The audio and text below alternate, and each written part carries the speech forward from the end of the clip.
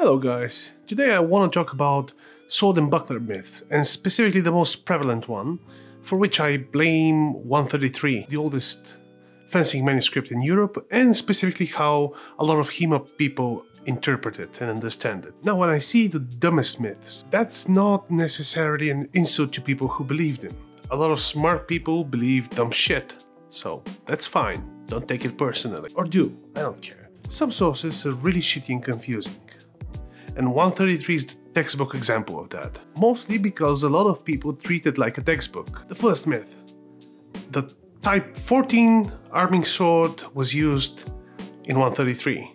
This one is really baffling, but the belief that a certain treatise requires the use of a certain type of sword is not necessarily uncommon.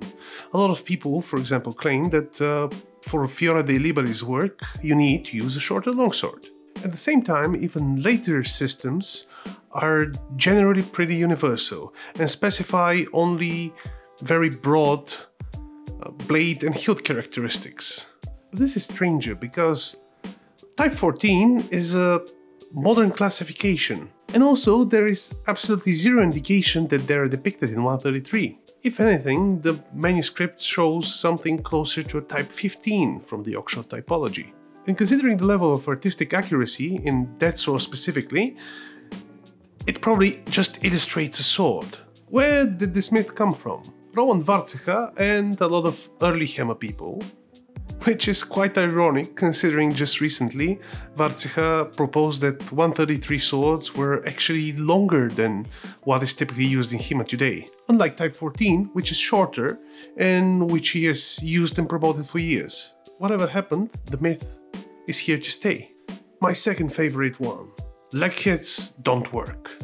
If I get a penny for every time a sword and buckler fencer tells me no, leg hits are not a good idea, the legs are dangerous to attack, I would probably have a lot more swords. Is it true that attacks to the lower openings are more risky? Yes, but that doesn't mean that you don't use them and they're specifically less risky when you have two weapons. Attacking the legs is fundamental in any sword and shield source. Only not in I.33. But where do we get the warning that we shouldn't attack the legs? In one single play, where we're told that if the priest attacks low, he's gonna be in danger to his head.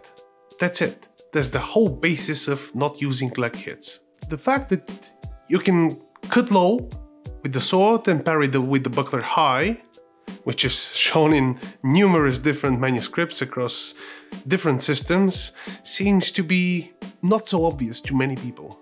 Not to mention, this leads to a classic pedagogical trap. Leg hits are easy to counter, so you don't bother learning how to counter them much.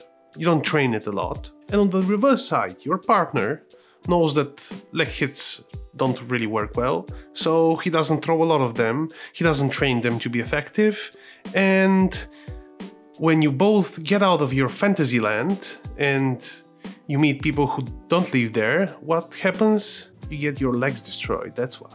And the final one the buckler covers the sword hand. And I think this one is the most insidious, because it is partially true.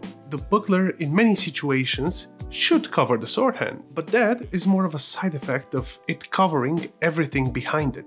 This is perhaps best illustrated by Giacomo di Grassi in his 1570 manuscript, where he shows with just a few lines how big of a shield a small buckler can be as far as protection goes. It is true that when sword and buckler work together, it's good to have cover the sword hand with the buckler. But that idea, when turned into an axiom, leads to a lot of weird stuff. Like thinking that the sword and buckler should always be kept together, which is patently untrue. Even in I.33, there are numerous guards show them apart, and there's nothing in the text or the illustrations that indicates they're always magnetized, even when they appear so from the one single angle that we see them from. Another one, that you would flatten the buckler like a pancake on your sword hand, which actually makes it cover you less because it covers only the hand and it doesn't cover as well what is behind it, which are also important parts. And finally, that means that people don't learn how to protect the sword hand on its own, either when the buckler is far away or just not available. But that issue leads to another set of issues of HEMA sword and buckler, about which I'll talk another time. Thank you, and bye bye.